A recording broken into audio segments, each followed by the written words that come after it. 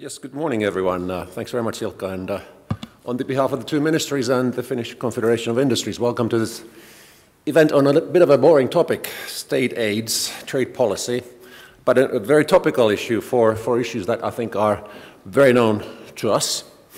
Actually, over the coffee, Eddie mentioned that it was 10 years ago that you were previous time in Finland. Actually, um, yesterday we had a, a big launching event of my ministry, the Ministry of Economic Affairs, on our future EU presidency uh, agenda, as the, as the Finnish presidency will be starting in uh, three months' time, the 1st of, uh, of July this year. But actually, that put me back to the previous Finnish presidency, the year 2006. That was the second half of the, that year. So about 10 years ago, 12 years ago. So, and uh, in that sense, I think it would be healthy to sort of ask to think, how did the world look in 2006? Actually, at the EU level, that was uh, the 2006 Finnish EU presidency. So first of all, it's not that long ago in terms of, uh, for example, trade talks. It typically takes a decade to come to any conclusion if the talks are successful. It's not very long in the EU policymaking, but obviously 10 to 12 years is a very, very long time in terms of business. So I think the timescales are very different if you look at the topics from the government's and policymaking viewpoint or the, uh, the business viewpoint. But in 2006, I think the big thing was Lisbon strategy. That was basically the vision where Europe would become the most competitive region in the world by 2015. Things were good. Actually, the EU GDP growth in 2006 was 3.2%. And the Finnish figure, who guesses or remembers what was the Finnish figure for Finnish GDP growth in 2006? 4.4% major number. Uh, actually, those days of, of, the Nokia mobile phones. The Nokia, Nokia mobile phone business uh, share was 36%. So things were obviously very different from today. The globalization theme was very topical as well. The offshoring and outsourcing sort of a, um, in a way, discussion was, was uh, hot, but in, in many ways, I think things looked good because China had a role to play, but that was the, uh, the factory of the world. In that sense, the value chains were uh, governed by the so-called Western companies, European, American, Japanese, and obviously China and the developing countries contributed, but at the level of sort of the lower sort of a productivity parts of the value chain. So the value chains were very much in the hands of the uh, so-called organized West. But of course, if we then look at the situation today, I think things are quite different. Europe is not, unfortunately, the most competitive region in the world. Quite the contrary, it's, uh, it's actually been in the stagnation, especially when one looks at the Finnish uh, uh, development over the past 10 to 12 years. And probably the most competitive region is not necessarily then either Japan, Canada, Korea, or not even the United States. In many ways, I think the competitive, the most competitive over the past years have been China. Their economic development has been very strong. I mean, the Chinese GDP growth has been around 6 to 8 percent from year to year over the past 20 years. That means that if you have that sort of a growth rate, in a decade you double your GDP, and in two, decades you quadruple your GDP. And that basically has happened in, in, in, in China. So, in that sense, the sheer size of China in the global arena has become very big. China is just about the world biggest in any comparison. And obviously, that has changed the scenery in very many different uh, ways. So, the rising dominance, if I may, of, of China is here today. They are ex exponentially growing power. They have a strong presence around the world, in Europe and in, in many other areas. And obviously, in, in that sense, uh, the, the, the, policies like the One Belt Road, uh, One uh, Road strategy or the Made in uh, China 2025, in that sense, actually are really aiming at taking a strong uh, leadership, if I may say, uh, in, in the business and also in technology, in AI, in IoT, in the electric vehicles, robotics. So in that sense, I think the Chinese sort of a role in the global arena has, has been astronomical in terms of development. And I think that puts us as companies, as individual uh, st uh, states like Finland or the European Union in a sort of a different uh, position as things were in the golden days of 2006.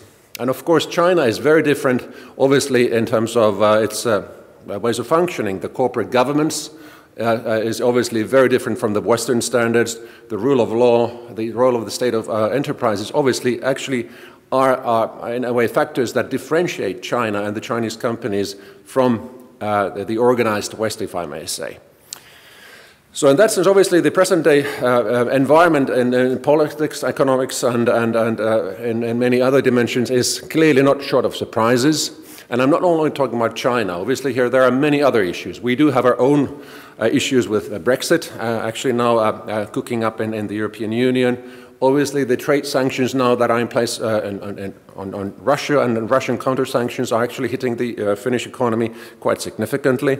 So, in this, uh, this sense, I think things are not that straightforward. And of, unfortunately, I should say, the trade and industrial policies have become a tool for higher political motivations. So, in that sense, I think the topics of today are also used and seen as tools that are driving broader sort of a political aspirations than just simple state aid sort of a policy uh, or competition policy uh, sort of a, uh, objectives on their own. So I think on and all, this has been a sort of a sudden wake-up call for the European Union and its member states, and I think that sort of a calls us to re think issues to make sure that Europe is actually on the same playfield and hopefully with the same sort of rules of game as our global trading partners uh, globally. And, uh, and in that sense, obviously, uh, I think the European approach where we have advocated and promoted open, rules-based, multilateral trade and investment, and rightly so, have to be obviously our sort of a backbone, obviously, uh, towards the future as well. But at the same time, I think we need to understand that the global playfield is very different and the players, especially China, is so dominant on that playground that I think we need to sort of uh, re, re think some of the uh, sort of policy uh, dimensions in uh, that respect. Um, and obviously there have been now voices raised that we should actually start a race around the state aid rules or, or uh, in that sense, uh, or also the trade sort of, sort of policy restrictions.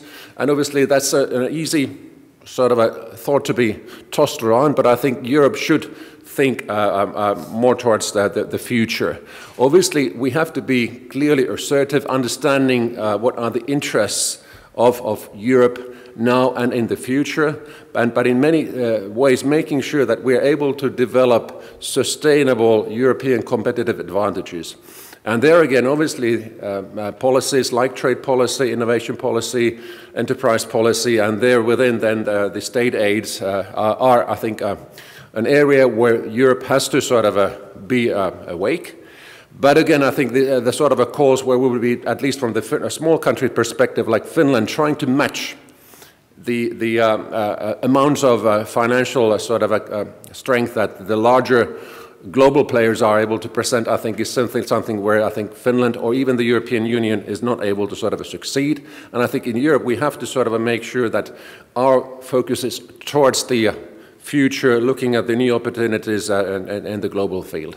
So again, I think in this uh, dimension, first of all, when we are looking at the present situation in Europe, and obviously, maybe an illustrative ex example is the very hot topic of electric vehicles and the battery industries. Obviously, now, even today, the core technologies in that domain actually come from Asia, primarily from China.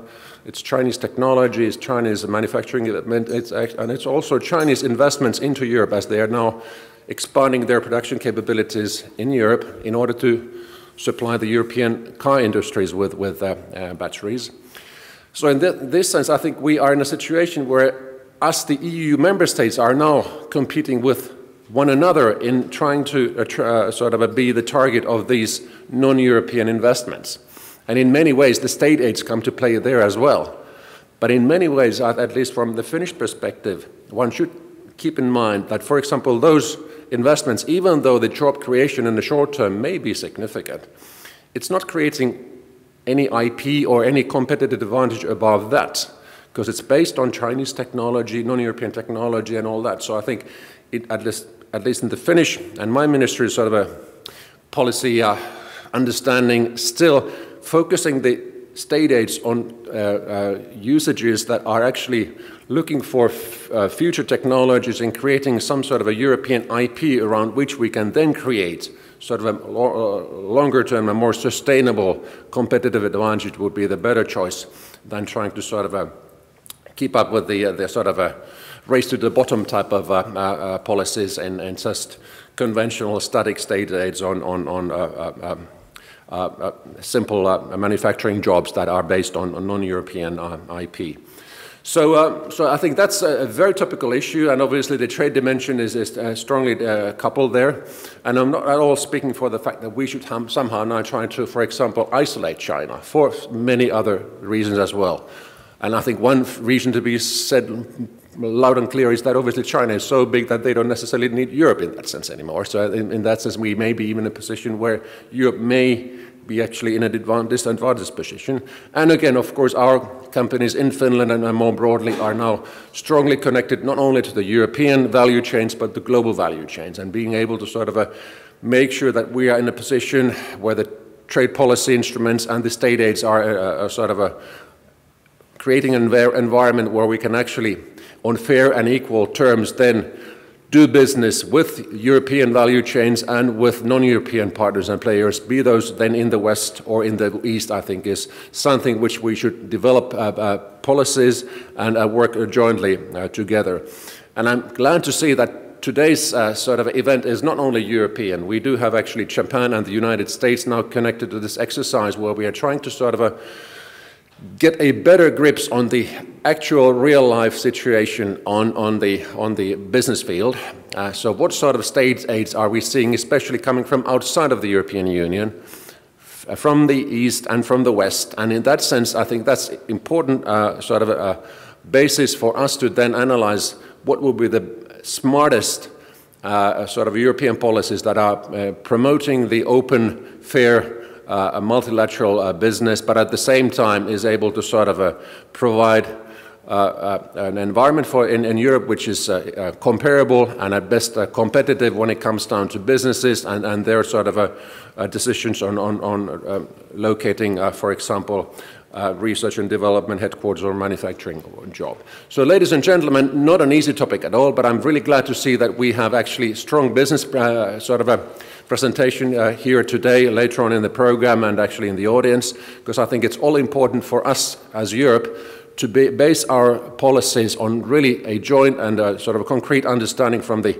real players on the field, the, the, the, companies, and in that sense, hopefully we're able to sort of, during our Finnish EU presidency and the, uh, and the uh, succeeding presidencies, then to create a, a fair playing field in Finland which, uh, and, in Europe, which is obviously very comparable also in the global uh, standards. Thank you very much.